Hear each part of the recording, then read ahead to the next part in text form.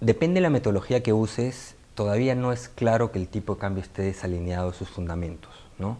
Eh, pero sí es cierto que hemos apreciado eh, con respecto a nuestro promedio de los últimos 10 o 15 años eh, la mayor apreciación ¿no? contra el promedio histórico. Entonces, ya estás en un terreno en que te diría hay que tener un poco de cautela, ¿no? pero si es un terreno burbuja, si está desalineado, todavía es difícil decirlo. Si me preguntan cómo verías el resto del año, diría, el mundo ahí no deteriorándose, mucha liquidez y por tanto esta tendencia continúa. ¿no? Eh, el ministro Castilla ya dijo, el, Perú va a crecer 6,9 en, en, diciembre, eh, el próximo año muy probablemente la economía peruana va a crecer eh, más de 6% y, y probablemente, te diría que esa proyección es con sesgo al alza, podría aproximarse más a 7 inclusive en un, en un escenario favorable. entonces están todas las condiciones como para que la apreciación cambiaria continúe. ¿no? Yo creo que son medidas acertadas, em, son medidas paliativas, eh, no van a la raíz del problema, pero la raíz del problema es difícil de atacar. Son tus es el precio de tu éxito como una economía, ¿no? Eh, que, como una economía que tiene un excelente desempeño, ¿no? Ese es uno. Y dos, lamentablemente, lo que hacen otras economías te impacta a ti, lo que hacen otros bancos centrales, como el de Estados Unidos, el de Japón, te impacta. Entonces, uno tiene que tomar las medidas que pueda para tratar de contener esto. Entonces, como conjunto de medidas, me parece que, han sido las adecuadas, ¿no? Eh, o sea, se va por buen camino. La pregunta es si, van a ser suficientes y a eso todavía no hay respuesta, ¿no? Eh, hay otra serie de medidas que podrían seguir adoptándose eh, y son quizás las que, las que podría uno comenzar a diseñar, aunque sea en la pizarra, digamos, del, del, mes.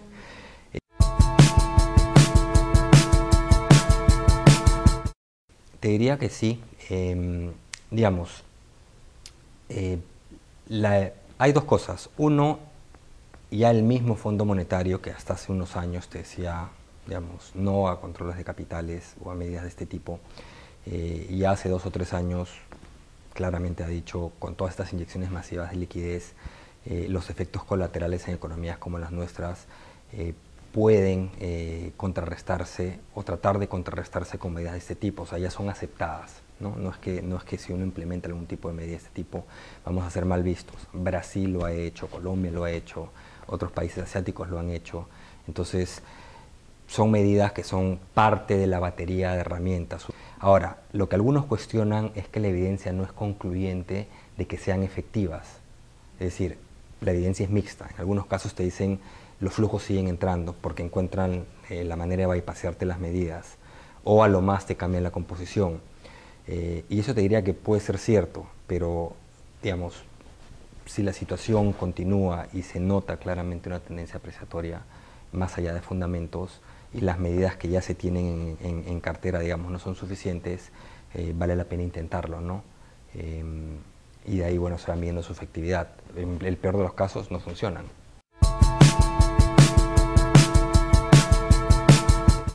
Yo creo que es bueno ir, y lo ha venido haciendo, eh, ir tomando las medidas, por lo menos en términos de políticas de encaje, ser gradualista, ¿no? Porque las medidas no toman tracción de manera inmediata, o sea, van agarrando tracción en el tiempo, ¿no? Entonces, está lanzando una señal, es la sexta vez que lo hace, para un mes o dos, creo, a fines del año pasado, creo que en noviembre, y de ahí reinició.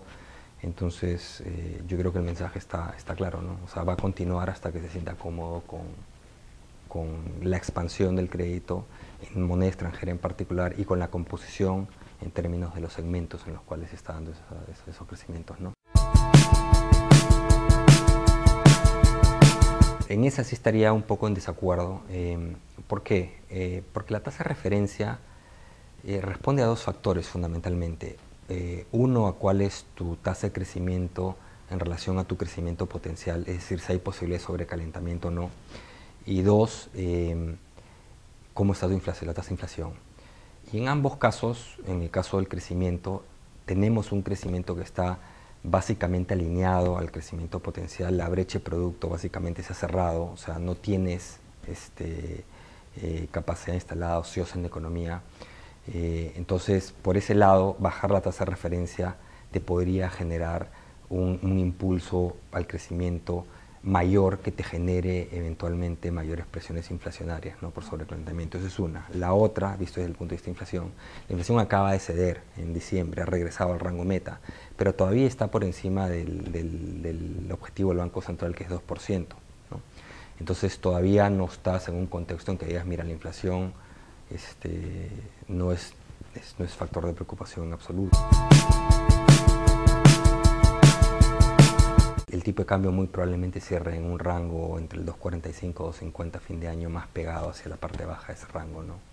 Lo que, lo que te puedo decir, salvo que haya algún tipo de disrupción externa, ¿no? Del otro lado, no habría ninguna razón por la cual la velocidad de apreciación de los últimos años, alrededor, bueno, en términos reales, pero en términos nominales ha sido lo mismo, nominales, alrededor del 5%, no hubiera ninguna razón por la cual se desacelere.